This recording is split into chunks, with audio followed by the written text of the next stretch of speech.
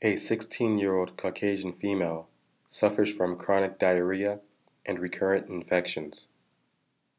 Physical examination reveals decreased position sense and hyporeflexia in her lower limbs bilaterally. Laboratory analysis reveals mild hemolytic anemia. What deficiency is most likely the cause of her symptoms?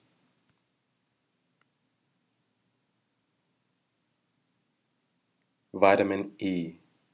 Vitamin E.